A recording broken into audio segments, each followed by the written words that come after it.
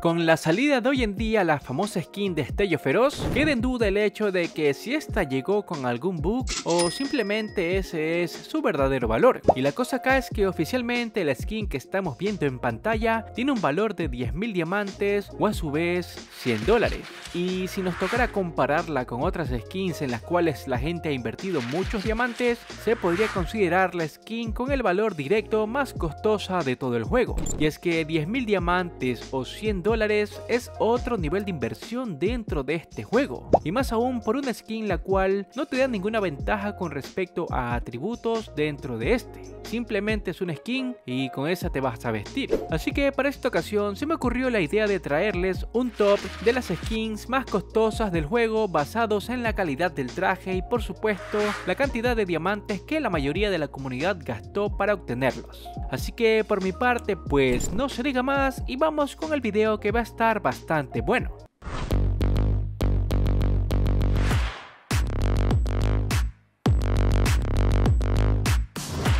Los criminales sin duda en sus tiempos fueron de las skins más cotizadas y deseadas del momento. La exclusividad de estos era debido a que salieron por primera vez en 2019, fecha en la cual pocos jugaban Free Fire. Pasaron los años y estos siguen siendo deseados, hasta que Garena para su aniversario se le ocurrió que la mejor forma de hacer dinero y a su vez mantener a su comunidad feliz era regresando una vez más estos trajes tan exclusivos al juego, cosa que para agosto del 2022 Garena anuncia el regreso de todos estos pero a través de un evento web y ya no a través de una incubadora como antes. Cosa que para Garena los eventos web sin duda son una máquina para hacer dinero. Y es allí donde la comunidad, en su mayoría, se les hizo demasiado complicado y a veces hasta imposible conseguir alguno de estos trajes por menos de 2000 diamantes. Y eso que siendo generoso. Tanto así que hubieron casos de creadores de contenido que gastaron más de 8000 diamantes sin ni siquiera conseguir al menos uno de estos.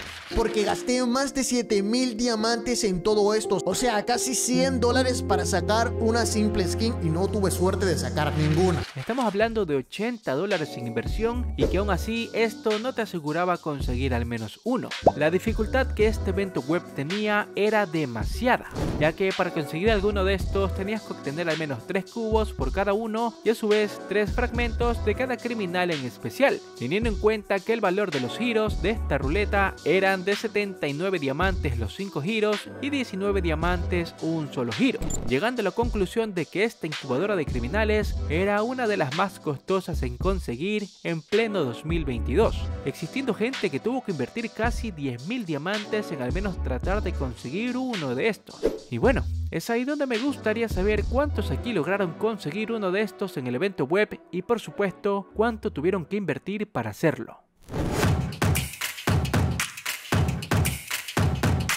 ¿Quién no va a recordar este tipo de videos que en el 2021 fue un boom dentro de TikTok? Para febrero del 2021, Garena anunciaba un nuevo paquete legendario conocido como Cobra Rubí. Lo llamativo de esta skin es el hecho de que fue la primera que podías cambiarle los colores a tu elección, y a su vez esta trajo el primer emote el cual hacía que tu escuadra en contra de su voluntad baile y se mueva cada que le dabas a ese emote.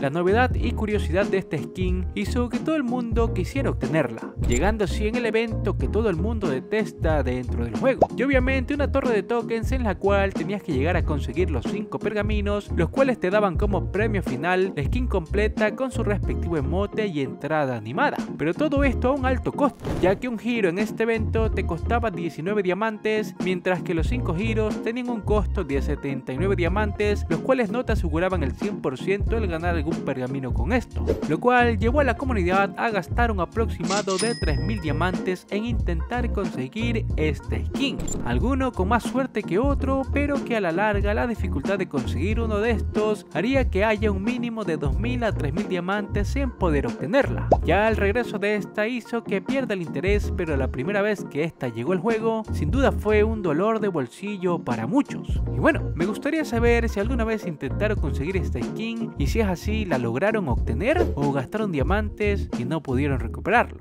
you Muchos hoy en día deben de tener este skin dentro de sus inventarios, ya que a la larga el Samurai Zombie ha llegado en distintos eventos en los cuales cada vez eran más fáciles de conseguir. Pero el tema acá es que este skin hace más o menos 4 años atrás llegó a ser una de las más costosas y deseadas de la comunidad, ya que para enero del 2020 Free Fire anunciaría el regreso de una skin la cual llamaba demasiado la atención. La forma en cómo este skin regresó fue a través de un evento llamado Invócalo, el cual constaba en gastar diamantes, pero entre más gastabas, más probabilidades tenías, ya que el propio juego te avisaba que con el giro básico la probabilidad de obtenerlo era demasiado bajo, así que con 40 diamantes el giro era imposible el poder conseguir algo, mientras que con 240 diamantes la probabilidad aumentaba un poco más. Aún así eso no era todo, ya que adicional a esto tenías la opción de gastar 10 diamantes más para que tu próximo giro tenga más probabilidades aún, llegando a la conclusión de que poder obtener este skin tenía un costo mínimo de 2500 a 3000 diamantes de inversión, siendo de los trajes antiguos en ser de los más costosos del juego. Estamos hablando de hace 4 años atrás. Con el tiempo, al igual que otros trajes, este ha vuelto a salir y la comunidad ha logrado conseguirlo con cada vez menos esfuerzo. Y bueno, es ahí donde me gustaría saber cuántos diamantes se lograron invertir en sus tiempos para lograr conseguir este traje hace 4 años atrás. La colaboración de Free Fire con Ataque de Titanes en sus tiempos llegó a ser de las más deseadas del juego, ya que esta lograría traer skins de personajes bastante importantes dentro de dicho anime.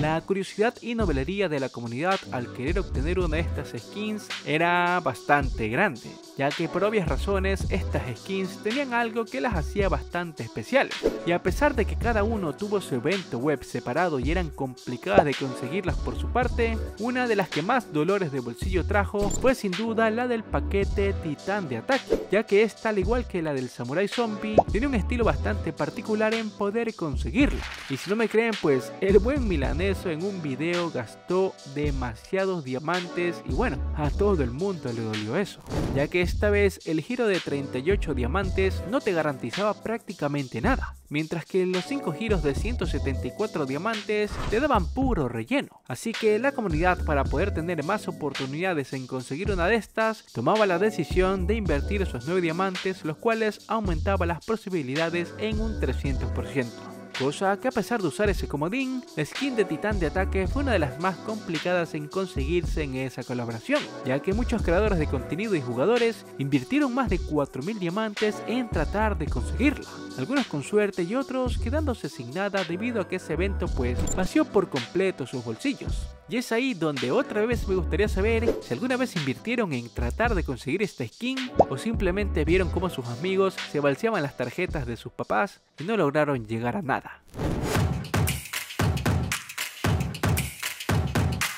La colaboración de Free Fire con Demon Slayer para la comunidad sin duda fue una de las más importantes, ya que con la llegada de esta llegarían también skins de personajes los cuales eran del gusto de toda la comunidad. El problema acá fue la llegada de uno de estos en especial, y como ya muchos deben de saber, la skin más costosa en este evento y por ende de las más costosas de todo el juego fue nada más y nada menos que la de Inosuke. Para esta ocasión, la skin de Inosuke iba a llegar al juego en septiembre del 2023, junto a un evento ya conocido por muchos, el cual sería la ruleta de tokens. En este evento el objetivo principal era conseguir 200 tokens para que así con estos puedas canjear en la tienda dicha skin. Y si tenías demasiada suerte, cosa que era casi imposible, podías conseguir la skin de forma directa dentro de la misma ruleta en algún giro de suerte. El problema acá es que casi nadie podía sacar esta skin dentro de los giros de la ruleta, por lo que por ley la única forma de sacar esta skin era consiguiendo los tokens que te podían salir en los giros que realizabas, los cuales tenían un costo de 10 diamantes el giro y 125 diamantes los 10 giros,